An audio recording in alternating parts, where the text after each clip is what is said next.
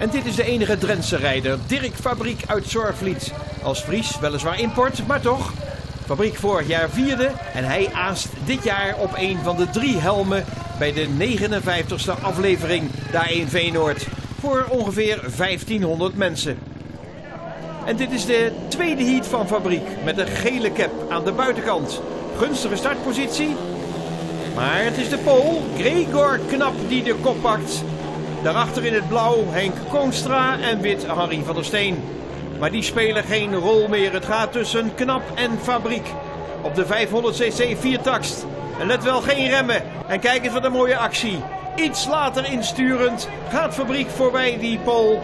In de eerste heat werd hij tweede achter de Oekraïner Melchinuk. Maar deze race lijkt hij te gaan winnen. Knap nog wel bedreigend, maar dan neemt hij helemaal afstand. En de eerste drie punten zijn in de knip. Vijf punten dus na twee heats voor Fabriek.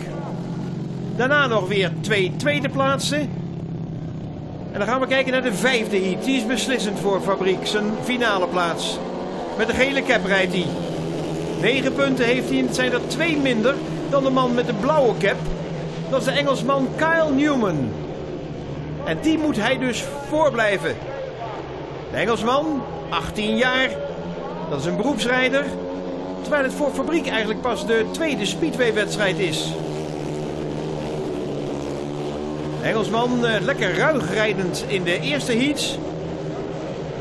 En kijkt u wat er gebeurt. In de bocht aan de overkant gaat de Engelsman onderuit. Geen punten dus voor hem.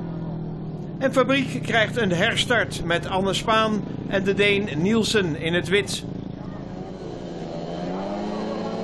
Nou, dan hoeft hij alleen maar voor te blijven.